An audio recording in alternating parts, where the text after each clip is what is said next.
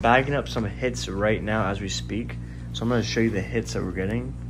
This is a pretty rare Gem Mint 2002. This one's also pretty good. This is awesome. We have two of these. This is amazing.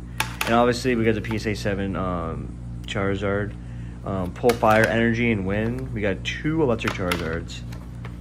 You know, this 2010 Broken Bond type beat. We got a Lost Origin type beat. This isn't really a hit, but it's a really good card.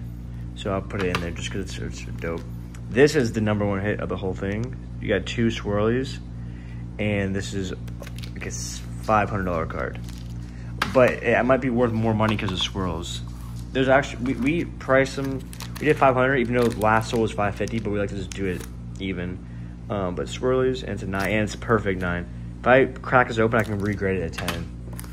And you got this boy too. So yeah, this is just some like, I'm gonna show you what we got in here. These are not the hits, but we you can still win some of these cards.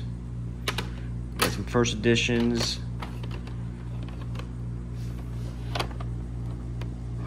Yeah, this is going to be the CDC section. We got some nice, we got some nice hits. You're gonna get. You're not gonna be disappointed when you when you play the game. And then this is also another hit we just added. It's gonna come as awesome case pretty cool hit.